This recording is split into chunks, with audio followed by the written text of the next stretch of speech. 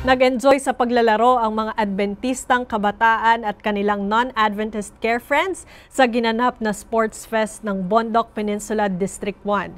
Ang mga laro tulad ng basketball, volleyball at iba pang sports activity ay nagpalakas ng kanilang katawan at nagpatibay ng kanilang samahan.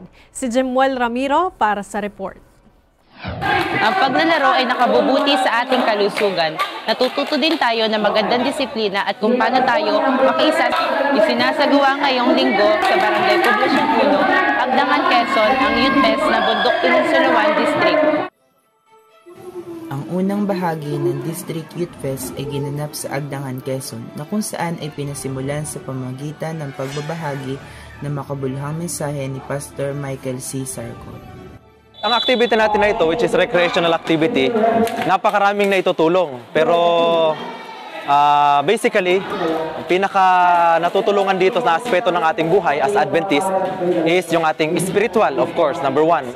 At number two, yung physical.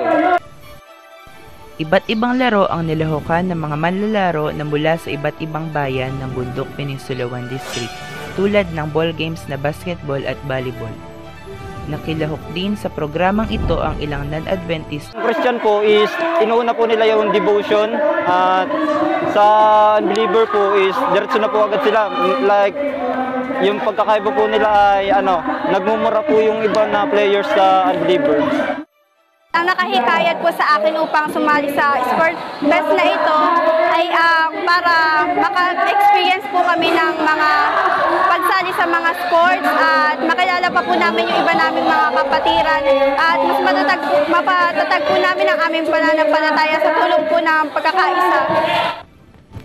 Umabot sa humigit kumulang isang daan at tatlongpong bilang ng mga manlalaro at iba pang mga kapatid mula sa walong bayan ng Bundok Peninsula 1 District na binubuo ng tatlong iglesia ang nakiisa sa nasabing programa. Layuning maghatid ng balitang may pag-asa, ako po si Jimol Ramiro, nag-uulat para sa Hope Today and PUC News.